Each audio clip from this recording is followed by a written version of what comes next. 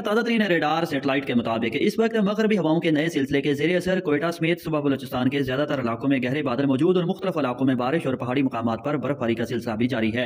जबकि सुबह पंजाब, खैबर पख्तनख्वा और शुमाली सिंध समेत मुल्क के ज़्यादातर मैदानी इलाके पिछले कई रोज से बदस्तूर, शदीद धुंध और शदीद सर्दी की लपेट में है। नसरीन, आने वाले चौबीस से अड़तालीस और बहत्तर घंटों के दौरान आज रात से छह, सात और आठ जनवरी को भी कोयटा, चमन, पशीन, जियारत, तुरबत, पंजगूर, कैच अबरान नौकुंडी, दालबंदी, चागी, नोशकी, गवादर, पसनी जीवानी मकरान किला सैफुल्ला किला अब्दुल्ला कल्लात सिबी मस्तूंग हरनाई समेत सुबह बलोचिस्तान के मुख्तलिफ़ इलाकों में मजीद बारिश और पहाड़ों पर बर्फबारी का सिलसिला वक्फे वक्फे से जारी रहेगा, जबकि इसी दौरान यानी आने वाले अड़तालीस से बहत्तर घंटों के दौरान ही बालाई सिंध, खैबर पख्तनख्वा के बाद इलाकों, लिया भकर मुल्तान और डीजी खंड समेत सुबह पंजाब और मुल्क के शुमाली इलाका जात में भी बादल आने और सिर्फ़ चंद मकाम पर ही हल्की बारिश, बूंदाबांदी और पहाड़ों पर हल्की बर्फबारी का इम्कान। बेशतर इलाकों में किसी खातर खा बारिश का इम्कान नहीं, मौसम खुश्क होगा, अच्छी बारिशें सिर्फ़ सुबह बलोचिस्तान में ही बरसेंगी, जबकि आने वाले दिनों के दौरान बादलों के बायस मुल्क के मैदानी इलाकों में जारी धुंध की शिदत में कमी आने और दस जनवरी से ज़्यादा तेज धूप निकलने के इम्कान हैं।